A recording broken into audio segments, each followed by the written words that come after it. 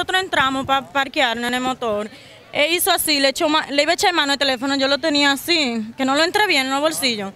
Entonces, él hizo así, cuando pasó por el lado, yo lo miré y él hizo así, le, echó la mano al teléfono y no logró sacarlo porque le tiré la sombrilla arriba. Nada, me dijo que tú estás loca, muchacha. Eh. Digo, tú me ibas a llevar el teléfono diciéndome de todo y él le cayó atrás. ¿Pudieron, Sí, está aquí. Sí. ¿Y qué está ahí? Hay un policía en guardia ahí y estamos esperando a la policía aquí. ¿Están esperando a la policía? ¿Ustedes vieron la acción del supuesto ladrón? Claro, porque ella anda conmigo. ¿Ella anda con usted? Fue en la farmacia y estaba muchísima gente ahí. ¿Cómo él se mandó por allá? ¿Por qué? Porque yo le caí atrás, tirándole fuetazo. Y entonces se metió para acá. ¿Le llegó a dar usted a él? Sí, le tuve que dar su galleta. ¿Lo, lo manoteó entonces usted? Sí, claro. ¿Y él qué decía? Que, que, no, que no es ladrón, que no es ladrón, y comenzó a sacar documentos, pero lo, está ahí, está ahí, lo tiene ahí. ¿Qué tú quieres decir sobre ese celular? Está preso, trae preso a él. preso. Sobre ese celular. Eh, te estaba acusando, dime.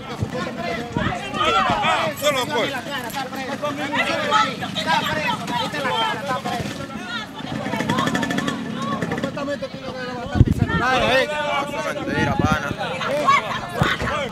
¡Suéltalo! ¡Coñazo, por mí que me dejan mi teléfono! ¡Coño!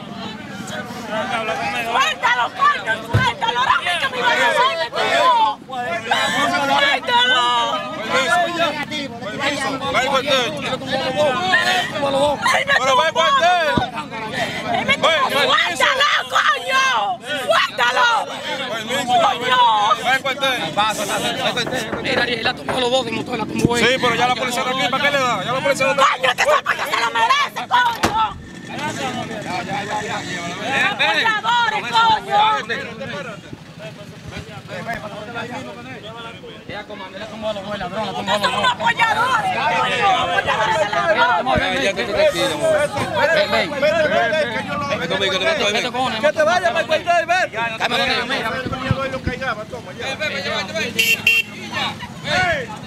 Adiós a la cámara. Aquí. Ciertamente, Oliver, aquí lo que ocurrió fue, ustedes pudieron observar, la policía vino a recuperar al supuesto ladrón que trató de eh, quitarle el celular a la joven y sin embargo la persona que andaba con la señorita al parecer indignado le dio una bofetada al supuesto ladrón porque dice que la policía lo va a soltar eh, de una vez. Oliver Peña, continuamos con de primera.